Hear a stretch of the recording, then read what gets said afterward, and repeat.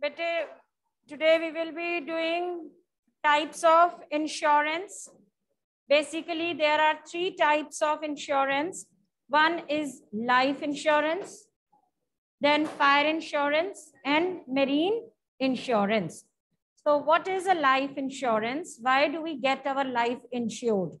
Everyone knows life is very risky. Okay, nobody knows what would happen tomorrow.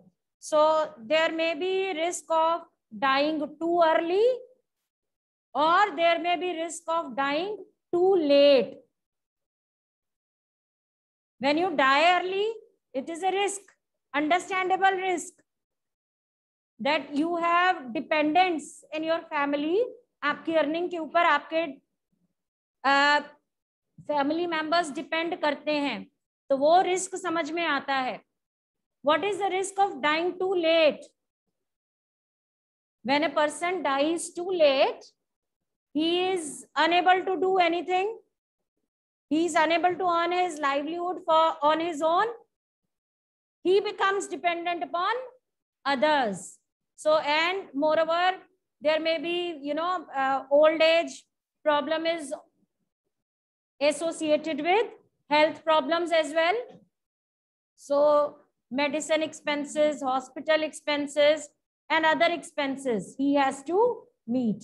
So when he dies too late, that is the person retires at 60 and lives till 90 years of age. So for 30 years, what on what will he depend upon? वो किसकी earnings के ऊपर depend करेगा ठीक है So again, that is the risk of dying too late. Yes, Krish, cover बेटे mask पहनो अपना ठीक है? तो इसीलिए इस रिस्क को कवर करने के लिए हम लाइफ इंश्योरेंस कवर लेते हैं। So life insurance policy is basically a protection against the uncertainty of life ठीक है? व्हाट इज़ लाइफ इंश्योरेंस जिस तरह से बेटे इंश्योरेंस को डिफाइन किया था same way see life insurance को भी डिफाइन करेंगे with little bit changes life insurance can be defined as a contract in which the insurance company or the insurer undertakes to insure the life of a person जो life person है उसको क्या बोलेंगे जिसकी वो insurance करने को तैयार है insured it's a contract whereby the insurer undertakes to ensure the life of the insured in consideration of a sum of money called as premium, which may be paid monthly, quarterly, yearly, depending upon the convenience of the insured. And insurance company undertakes to pay a fixed sum of money on the death of the assured or the expiry of a specified period of time, whichever is earlier. I have got my life covered. मैंने life insurance ली हुई है almost हर salaried person लेता है life insurance क्यों लेता है क्योंकि हमारी जो गवर्नमेंट है, हमारा जो इनकम टैक्स एक्ट है, वो कहता है कि अगर आपको, आपकी जितनी भी टैक्सेबल इनकम है, उसमें से गवर्नमेंट हमें कुछ रिबेट देती है। रिबेट समझ गए? कि अगर मेरी टैक्सेबल इनकम बनती है yearly four lakh rupees right तो मैं उसमें से वन लैख फिफ्टी थाउज़ेंड की सेविंग्स मैक्सिमम करा सकती हूँ। तो मुझे टैक्स किस, कितनी अमाउंट के ऊपर पे करना पड़ेगा? टू लैख फिफ्टी थाउज़ेंड मेरी टैक्सेबल इनकम कितनी है? फोर लैख लेकिन मुझे, अब मेरी टैक्सेबल इनकम कितनी हो गई? टू लैख फिफ्टी थाउज़ेंड क्यों? मुझे one lakh fifty thousand maximum one lakh fifty thousand का रिबेट मिल सकता है। अब कैसे मिलेगा मुझे ये रिबेट अगर मैं ये one lakh fifty thousand government का एक एक्ट है डिफरेंट सेक्शंस हैं एक्ट के eighty C eighty C C eighty D eighty G अलग अलग एक्ट्स हैं, ठीक है? तो उन एक्ट्स के अकॉर्डिंग एक एक्ट इनमें से कहता है कि अगर आप लाइफ इंश्योरेंस लेते हो और उसका प्रीमियम पे करते हो, अगर आपका ईयरली प्रीमियम मतलब one lakh fifty thousand total कोई भी जितने भी इंस्ट्रूमेंट्स है ना सेविंग के उनमें total amount one lakh fifty thousand तक का रिबेट मुझे मिल सकता है। ठीक है? तो उनमें से एक इंस्ट्रूमेंट क्या है? लाइफ इंश्योरेंस तो normally every salaried person yes Harleen be attentive look this side every salaried person या इवन बिजनेसमैन जो अपने टैक्स में से रिबेट चाहता है, वो लाइफ इंश्योरेंस ले लेता है। That is not the only purpose of taking life insurance tax rebate लेना है। Another person to cover the risk. Which risk? Risk of dying too early or too late.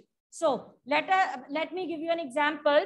I got the insurance policy in 2007 for the period of 30 years. Say for a sum of 10 lakh rupees clear now I will pay premium मैंने insurer को बता दिया। मैंने thirty years की policy लेनी है और दस लाख की लेनी है, उस हिसाब से वो मेरा प्रीमियम बना देगा। ठीक है? तो जितना भी मेरा प्रीमियम पे बनता है, मैं चाहे मंथली पे करूँ क्वार्टरली पे करूँ ईयरली पे करूँ that makes no difference I just have to pay the premium to the insurance company ठीक है? तो अब इसका मतलब 2037 में आ, से पहले अगर मेरी डेथ हो जाती है if a person dies in any year चाहे 2008 में पर्सन की डेथ हो जाए even then the family members will get a sum of 10 lakh किसी भी year in between 2007 to 2037 if the person who has got the life insurance cover, if he dies, he will get an assured sum of 2037. On the other hand, if a person does not die, then in the year 2037, this is the period of maturity. इस time period को क्या बोलेंगे maturity क्यों क्योंकि 2007 में ली थी और 30 years के लिए ली थी तो थर्टी ईयर्स के बाद वाला जो पीरियड है, वो क्या हो जाएगा? डेट ऑफ़ मेच्योरिटी तो मेच्योरिटी पे मेरे को दस लाख रुपए मिल जाएँगे। So see if I die too early my family members have ten lakh rupees to survive on on the other hand if I die too late I will be having ten lakh rupees for my own survival right So what is life insurance? It is a contract whereby insurer, who is the insurer? Insurance company undertakes. Kya undertake karta hai? To insure the life of the person in consideration of sum of money called as premium. And he promises to pay a fixed sum of money on the death of the assured अगर later से उसकी death हो जाती है 2024 में ठीक है तो on the death of the assured insurance company will pay 10 lakh rupee to his family members और on the expiry of specified period of time whichever is earlier death पहले हो गई तो डेथ पर मिलेगा। डेथ नहीं हुई तो 2037 में मिलेगा। So whichever is earlier clear है बेटे? लाइफ इंश्योरेंस सो इसीलिए हम कहते हैं, जो इंश्योर करवाता है ना, वो एश्योर्ड है। लाइफ इंश्योरेंस के कॉन्ट्रैक्ट में वो कौन है वो person assured because he sure to get the fix sum of money जब आप कोई फायर इंश्योरेंस करवाते हो प्रीमियम आपने 20 साल तक प्रीमियम पे किया तो आ, कभी भी फायर नहीं लगी तो आपको कंपनसेशन नहीं मिलेगी right right?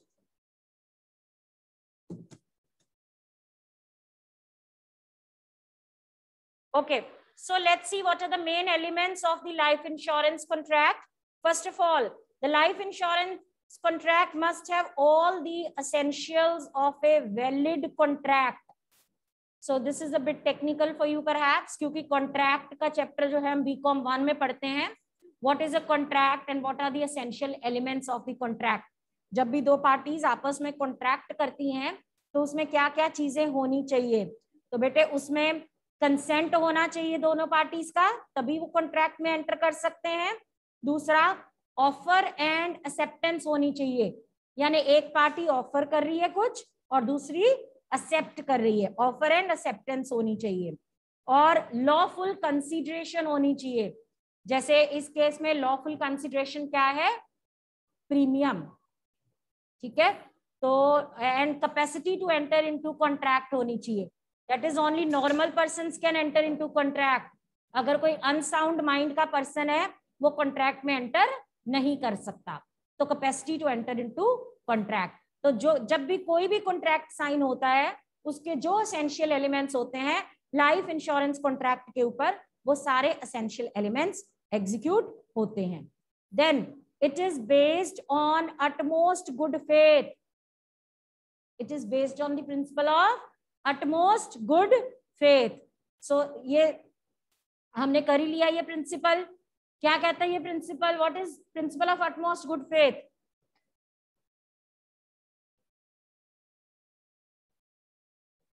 right. Both the parties should disclose material information relevant information to each other. So insured must uh, disclose all the material information if he is suffering from any health problem right? If he has got any you know kind of threat any medical problem he should disclose it to the insurance company. Similarly insurance company should also make all the terms and conditions of the policy clear to the insured. Then it is based on the principle of insurable interest. Now the insurable interest must be present at the time of taking of taking up of the policy. It is not necessary at the time of maturity. Uh, principle of insurable interest means the insured must have pecuniary interest in the subject matter of policy, that is in the life of insured. यहाँ पे कौन सा contract है? Life insurance तो बेटे, अगर मैं अपनी बात करूँ, मैं किसकी लाइफ इंश्योरेंस ले सकती हूँ? मैं उसी पर्सन की लाइफ इंश्योरेंस ले सकती हूँ, जिसमें मेरा इंश्योरेबल इंटरेस्ट है। यानी जिसके होने से मुझे फ़ायदा है और जिसके ना होने से मुझे फाइनेंशियल लॉस होता है। सो so, मेरा आपके साथ कोई कनेक्शन है? Being a teacher if you know whatever happens to any other person third person तो मेरा उस पर्सन की लाइफ में कोई इंश्योरेबल इंटरेस्ट नहीं है। तो मैं किसी भी थर्ड पर्सन की लाइफ इंश्योरेंस नहीं ले सकती।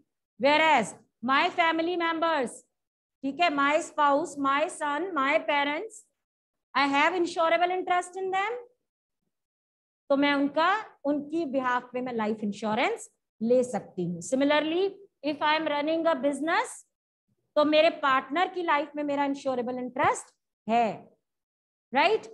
और if somebody is owning me ten lakh rupees कल को उसकी डेथ हो जाती है तो मुझे नुकसान होगा तो उसकी लाइफ में भी मेरा इंश्योरेबल इंटरेस्ट है तो जिसकी लाइफ में आपका इंश्योरेबल इंटरेस्ट है यानी जिसको कुछ होने से आपको नुकसान हो सकता है, आप सिर्फ़ उसी की लाइफ इंश्योरेंस ले सकते हो।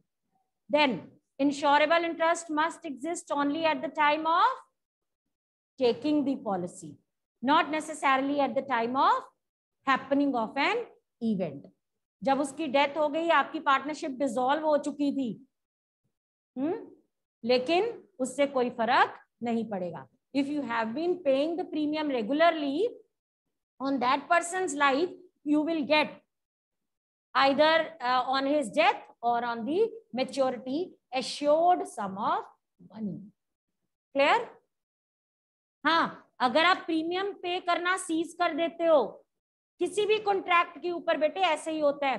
Contract is based on lawful consideration ठीक है? यहाँ पे प्रीमियम पे कर रहे हो तो ही कॉन्ट्रैक्ट वैलिड है। वंस आपने प्रीमियम नहीं पे किया तो आपकी जो पॉलिसी है, फिर इट सीजेस टू एग्जिस्ट आपको फॉरगो करना पड़ता है। ठीक है? काफ़ी अमाउंट फॉरगो करना पड़ता है फिर। Then life insurance contract is not based on the principle of dash fill in the blank. Anyone else? Life insurance contract is not based on the principle of indemnity. Why not? Life cannot be measured in terms of money. Indemnity का principle क्या होता है? कि आपका जितना नुकसान हुआ insurance company undertakes to compensate the loss अब किसी की डेथ से कितना लॉस हुआ, वो मनी में मेजरेबल नहीं है. तो इंश्योरेंस कंपनी ये नहीं कह सकती, अरे, रो मत, ये लो कंपनसेशन किसी की डेथ या किसी की लाइफ मनी की टर्म्स में कंपनसेट नहीं हो सकती. Got it Okay, so this was about life insurance. Coming to the fire insurance. So let's see what is a fire insurance.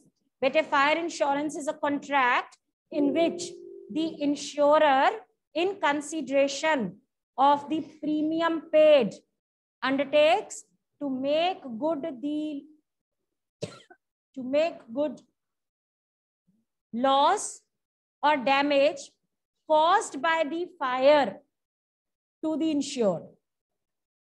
ठीक है? During a specified period of time and up to the amount specified in the policy. Fire insurance वो contract है। बेटे John C मर्ज़ी definite चाहे insurance का meaning पूछ ले, चाहे लाइफ इंश्योरेंस का, चाहे फायर इंश्योरेंस का। है तो तीनों इंश्योरेंस और इंश्योरेंस क्या है? कॉन्ट्रैक्ट है। तो स्टार्टिंग हर एक की कहाँ से होनी है? It is a contract in which the insurer one party वो पार्टी कौन सी है? इंश्योरर इंश्योरर की जगह और क्या लिख सकते हैं? इंश्योरेंस कंपनी अंडरटेक्स अंडरटेक्स का मतलब होता है गारंटी लेती है। ठीक है? इट अंडरटेक्स अंडरटेक गारंटी किसके बदले में लेती है? In consideration of sum of money called as premium क्या गारंटी लेती है? To make good the loss ठीक है? और टू कंपनसेट कुछ भी लिख सकते हो, बेटे बेटे, ज़रूरी नहीं आपने वर्ड टू वर्ड लिखना है, लेकिन to make good the loss लिखोगे तो टेक्निकल टर्म्स हैं, आगे जाके आप लोग कई बच्चे इंश्योरेंस को ऑनर्स में सब्जेक्ट ले लेते हैं तो उस केस में it will be helpful yes Krish be attentive and spit it out ठीक है? Spit it out hurry up in a paper make good the loss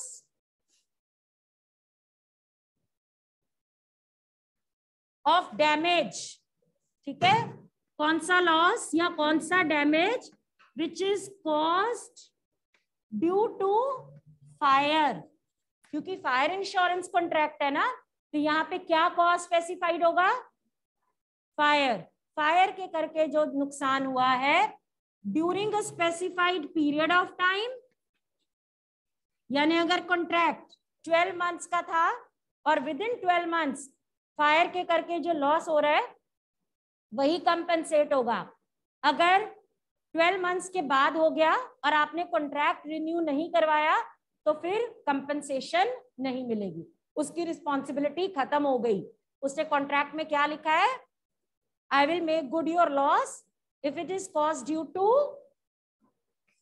fire and within a specified period of time and up to specified amount or the amount as specified in the contract. नुकसान हो गया दस लाख का, लेकिन contract में sign है पाँच लाख के, और प्रीमियम भी बना है अकॉर्डिंग टू फाइव लैख तो कितना नुकसान वो भरेगी? Five lakh that is up to the amount specified in the contract clear? So what is life insurance? It's contract contract whereby the insurer in consideration of the premium paid undertakes to make good to the insured any loss or damage caused due to fire during a specified period and up to the specified amount as mentioned in the policy ठीक है सो so, अगर आपको बेटे claim लेना है fire insurance का तो दो चीज़ों, दो कंडीशंस फुलफिल होनी चाहिए, तभी आपको क्लेम मिलेगा। One there must be actual loss actual loss हुआ होना चाहिए। ये नहीं कि फायर लग गई और फायर हो गई और फायर एक्सटिंग्विश करवा दी, नुकसान नहीं हुआ तो भी हम कहते हैं, अरे नहीं, मैंने तो प्रीमियम भरा हुआ है फायर इंश्योरेंस का देखो आग लगी है, मेरे को कंपनसेशन चाहिए। बिना नुकसान के कंपनसेशन नहीं मिलेगी। क्यों नहीं मिलेगी? आपने लॉयर हायर कर लिया। ठीक है, आपने कहा देखो, मैंने प्रीमियम पे किया हुआ है। मेरी फैक्ट्री में आग लगी थी इंश्योरेंस कंपनी क्लेम नहीं कर रही। तो आपका जो ओपोनेंट लॉयर है, वो क्या कहेगा? आपका कॉन्ट्रैक्ट दिखाएगा। कॉन्ट्रैक्ट में क्या लिखा हुआ है?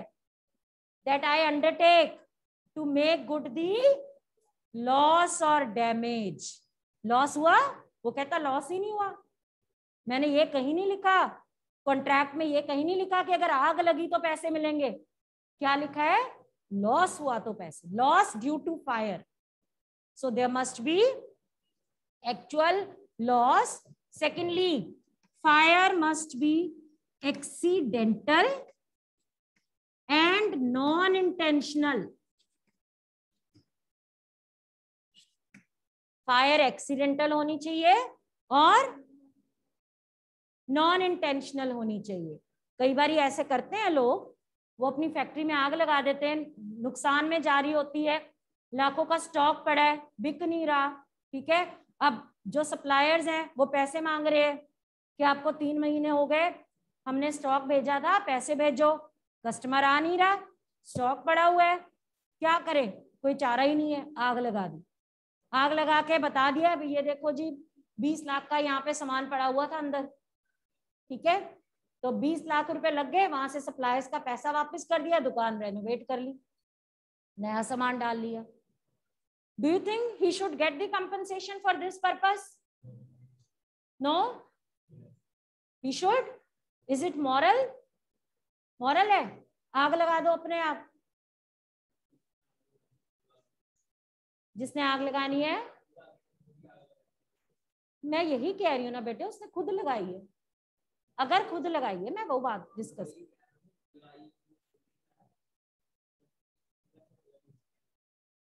मतलब इंटेंशन गलत हो मर्डर करवा दो, सुपारी दे के करवा दो तो आप रिस्पॉन्सिबल नहीं हो। यही बात हुई। ठीक है बेटे, हर एक का व्यू पॉइंट इंपॉर्टेंट है, लेकिन हमारा कानून ये कहता है कि अगर फायर एक्सीडेंटल और नॉन इंटेंशनल है, तभी आपको क्लेम मिलेगा अदरवाइज़ नहीं मिलेगा। ठीक है? Insurance is not the contract of making profits it is the contract of making good the loss clear now third type of insurance is marine insurance marine word is related to water ठीक है? So what is a marine insurance आपको पता है, जितना भी हमारा export import का business होता है तो गुड्स जो है वो ट्रांसपोर्ट किए जाते हैं मेनली थ्रू शिप्स ठीक है? तो marine insurance contract again it is a contract agreement under which the insurer undertakes to compensate the insured for complete or partial loss at sea. In case of marine insurance, the insurer is known as underwriter. So marine insurance agreement whereby the insurer undertakes to compensate the insured. जो insured है वो usually कौन होता है या तो वो ship का ओनर होता है या वो कार्गो का ओनर होता है cargo means what is cargo हाँ जो goods which are loaded on the ship जो कि शिप ओनर रिस्पॉन्सिबिलिटी लेता है कि मेरी रिस्पॉन्सिबिलिटी है, मैं इसको डेस्टिनेशन तक पहुंचाऊँगा, ठीक है? तो मेरे गुड्स जा रहे हैं, अब कल को ये गुड्स डूब जाए, कुछ पायरेट्स आ जाए, चोरी हो जाए, कुछ भी हो सकता है मेरे गुड्स को। तो इट मेक सेंस कि मैं उसकी इंश्योरेंस करवा लू, ठीक है? तो कार्गो इंश्योरेंस होगी। ऑन दी अदर हैंड जो शिप का ओनर है, उसकी शिप आइसबर्ग से टकरा सकती है, जैसे टाइटेनिक ठीक है? या डूब सकती है या कुछ भी हो सकता है डिस्ट्रॉय हो सकती है, तूफ़ान आ सकता है। तो उसकी जो शिप की insurance ship is made of crore of rupees it's worth crore of rupees है ना? तो उसकी अगर हल, उसको कहते हैं हल इंश्योरेंस शिप का हल होता है जो, वो डिस्ट्रॉय हो गया। तो शिप ओनर भी अपने शिप की इंश्योरेंस करवाता है। तो ये वो कॉन्ट्रैक्ट है जहाँ पे इंश्योरर कहता है कि मैं आपके नुकसान को कंपनसेट करूँगा ठीक है? So in case of marine insurance the insurer is known as under marine insurance के केस में जो इंश्योरर है उसको हम अंडर कहते हैं। A certain sum of money is paid by the insured in consideration for the guarantee or protection which he gets, जिसको हमें मालूम है प्रीमियम कहा जाता है। नाउ जो मेरीन इंश्योरेंस है बेटे it provides protection against marine perils marine means related to sea perils means dangers खतरे, ठीक है? Like collusion of one ship against the another. एक शिप दूसरे के साथ टकरा गई डिस्ट्रॉय हो गई. और the collusion of ship against the rock iceberg rock के साथ टकरा गई आइसबर्ग के साथ टकरा गई और it may be captured by the pirates पता है पायरेट्स क्या होते हैं? पता है? जो आ, सी में शिप के ऊपर आके चोरी कर लेते हैं। ठीक है? तो okay will do it tomorrow now